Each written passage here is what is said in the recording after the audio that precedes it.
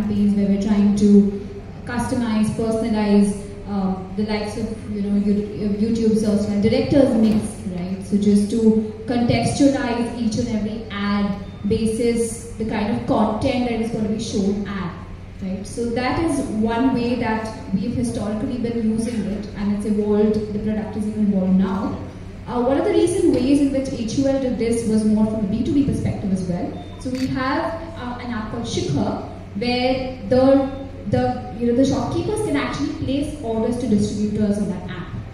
And basically what we did is that we said that okay let's create an, an ad that you know had a celebrity voice of Asha Garcia and they could customize it and send it across to their customer base. So this basically was something that they could use and it was very it, it, it, basically shows the power of AI that something is become so accessible to a larger base at just like one click